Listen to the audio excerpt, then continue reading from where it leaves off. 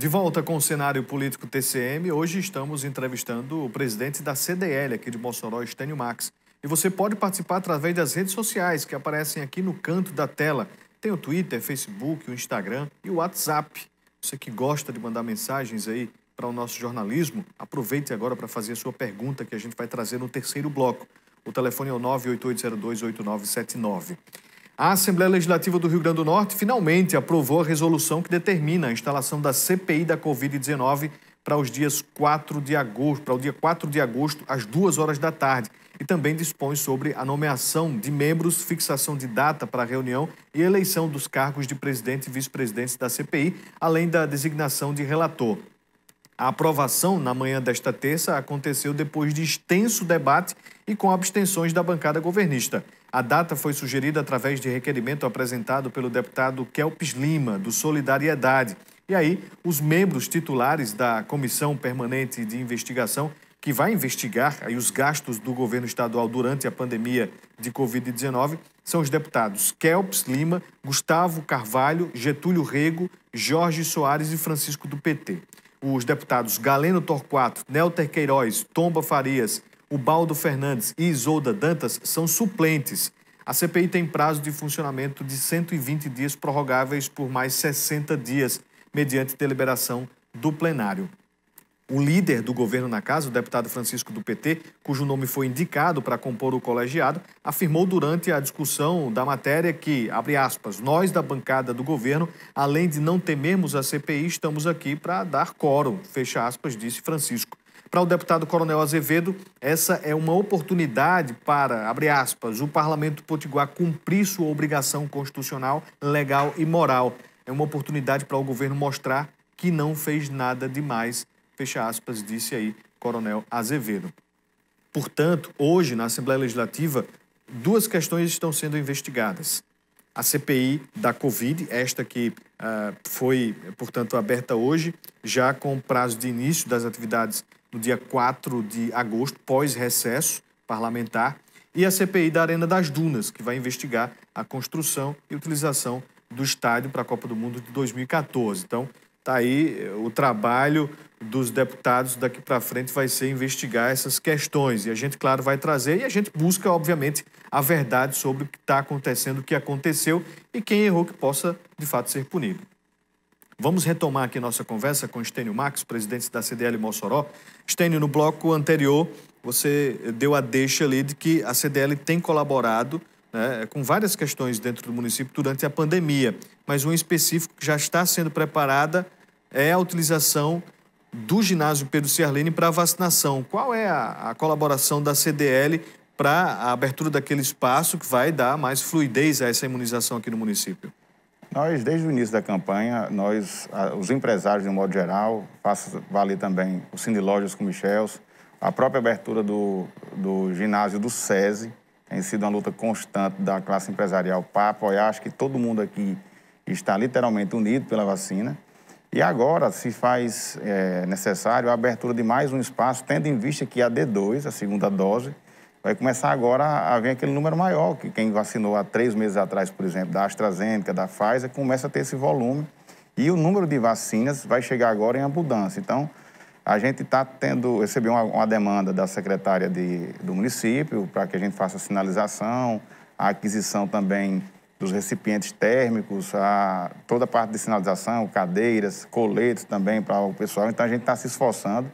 Meus os colegas empresários hoje, a gente passou o dia visitando, é, arrecadando mesmo, porque não, não, é, não é barato tá? é abrir um ginásio daquele. E a prefeitura vai entrar com toda a parte de infraestrutura. É, é importante destacar que isso é um trabalho também feito a, a várias mãos, com as universidades que atendeu o nosso chamado desde o início. E esses voluntários que tanto estão trabalhando finais de semana, como também no SESI, como agora vão trabalhar também na, na vacinação lá no Pedro Ciarline, vai ser uma, uma contribuição imensa para que a gente possa continuar vacinando aí, imunizando a população para que se livre logo do, dessa pandemia. Estênio, você tomou posse em 1 de janeiro, né? já nesse cenário desafiador da pandemia uh, em todo o Brasil, sabendo das dificuldades que Mossoró enfrentava. O que, que eh, estava em seu planejamento para colocar em prática que você não conseguiu, mas que é, agora você está colocando aí para caminhar e o que já foi feito dentro da gestão Estênio à frente da CDL? Quando eu tenho a, a grata a satisfação enorme de ter uma diretoria super atuante, né? Nós somos em 33 diretores e todos, sem exceção, é, ajudaram demais o nosso mandato. Tudo que foi planejado no nosso mandato, e aí o brasileiro, por si só, ele é muito resiliente. Eu brinco muito que a gente está no modo camaleão, né? A gente se adapta a todo tempo. E a nossa, o nosso planejamento que nós tínhamos no primeiro semestre era entregar o primeiro impostômetro digital do Brasil.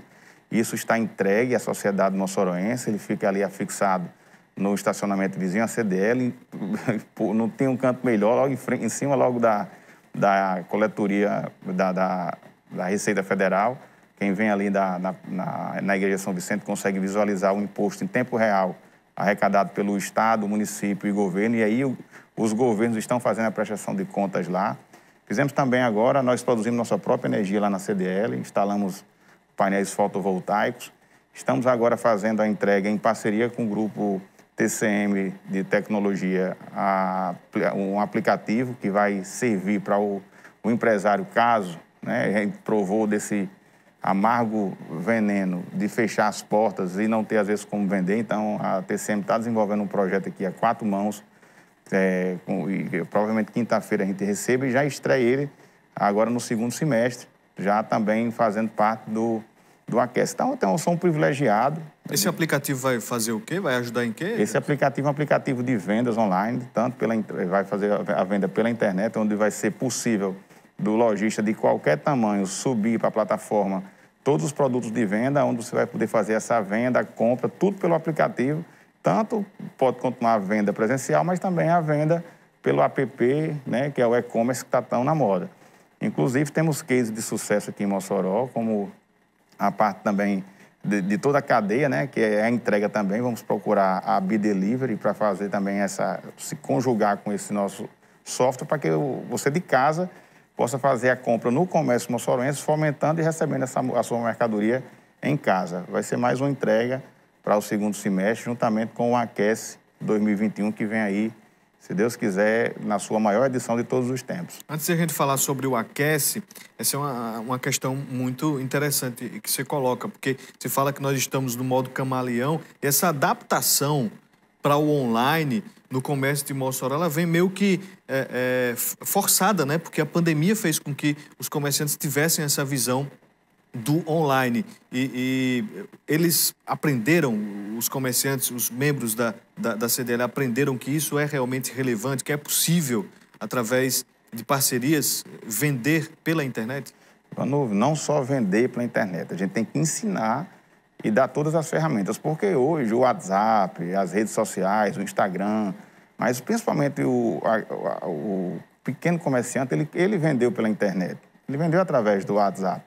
O que precisa agora é a gente dar as melhores condições e ferramentas para que o pequeno, o médio e o grande, ele esteja dentro das redes sociais, dentro da, da, da plataforma que a gente está criando. Vai ser só mais uma. A gente tem diversas plataformas aí e essa vai ser uma plataforma para o comércio a princípio de Mossoró, mas quem dirá aí expandir fronteiras, como a gente chama na Grande Mossoró, né? Quem, que a gente sonha tá aí um dia ter a região metropolitana de Mossoró. Então, tem sim, a gente acha que é possível e pensamos que vamos fazer uma grande entrega agora para o comércio de Mossoró. E falando sobre é, bons ventos né, que trazem aí durante essa superação da pandemia, tem o Aquece, que não aconteceu o ano passado, Aquece Mossoró, que é um estímulo ali para que é, as pessoas comprem no comércio da cidade. É, como é que vem sendo esse planejamento para o lançamento desta campanha? Hoje à tarde, hoje praticamente o dia inteiro, estivemos com o presidente do Cindy Lojas, Michelson, é, fazendo visitas e fomos muito bem recebidos. Né? A, a, campanha terá início dia 30 de outubro e irá até o dia 27 de, de novembro. Propositalmente, nós vamos pegar essa a brecha do Dia das Crianças e vai encerrar o Aquece na semana que antecede o Black Friday. Então, o Aquece literalmente vai aquecer o comércio, o comerciante vai ter um tempo para que coloque realmente os produtos em promoção, coloque aquele produto que está em estoque e a gente vai ter a maior premiação de todos os tempos. A gente está lançando aí uma, uma ideia que toda a loja que se associar, ele terá, junto com o kit que a gente entrega de, faz a entrega na adesão dele, um, um souvenir, um brinde, um sorteio. A, a princípio, a gente pensa num tablet, onde ele vai sortear para o seu próprio cliente. Então, vai ter a garantia de que se você comprar naquela sua loja, você vai ser sorteado. E, além disso, nós estamos, vamos ter as premiações Master, né, que é os automóveis. E aí tem um lance novo que a gente está propondo. Vou até fazer um spoiler aqui, mas é, que, é, é sortear, por exemplo, um ano de feira grátis nas redes de supermercados, um ano de combustíveis grátis nas redes de combustíveis. E aí vai ser aí a, a ideia de premiar mais de 200 é, clientes na, na cidade aqui de Mossoró e no entorno também. Vai ter o dia do imposto zero? O dia sem imposto, é, que é o, a gente começa, a gente não vai dizer o dia que é para o pessoal aguardar aí com ansiedade, vai ter o dia do, do imposto zero, vamos ter o, a, a, as liquidações que tem no meio da campanha, Vamos ter o lançamento, inclusive a gente está confirmando aí já para o dia 26 de agosto, que é aquele lançamento prévio. Então vai ser feito todo um trabalho ainda com o SEBRAE, com o SENAC. Temos também aí a expectativa de, das faculdades particulares entrarem com o sorteio de bolsas, né? É, para que possa também dar essa, esse up né, na campanha. Enfim, é, como eu lhe falei, nós temos que. A, a crise veio, a pandemia veio, ela vai passar e vai deixar para a gente uma lição muito grande. Então, nós temos que pegar tudo que veio de ruim, tirar o que é de melhor, transformar isso em oportunidades, não baixar a cabeça e fazer a economia crescer, dando o nosso melhor nesse período que a gente está à frente da CDL. Há muitos anos a CDL Mossoró tem um papel social, além do estímulo econômico que é dado a quem é parceiro da Câmara de Dirigentes Logistas, tem esse papel social que é visto a todo momento.